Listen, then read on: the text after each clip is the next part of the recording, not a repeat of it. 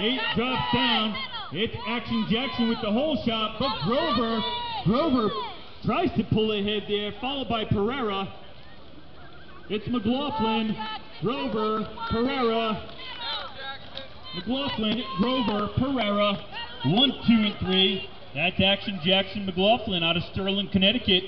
Holding on to that front spot, followed by Aiden Grover out of North Smithfield and Gavin Pereira out of Fall River, Mass.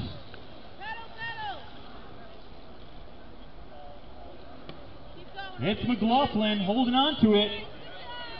And with this win, he transfers into intermediate, ladies and gentlemen. McLaughlin going inter, followed by Grover and Pereira.